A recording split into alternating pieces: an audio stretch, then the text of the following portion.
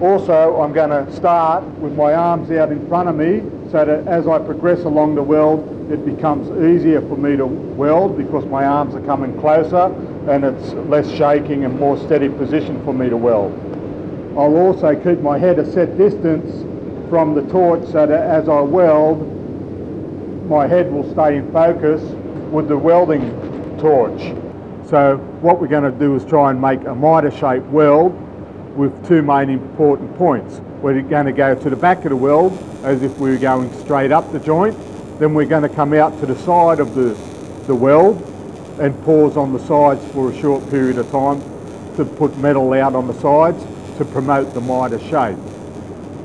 You can see here all the steps are all evenly placed, no undercut on the sides and the weld is equally proportioned onto both sides of the plate.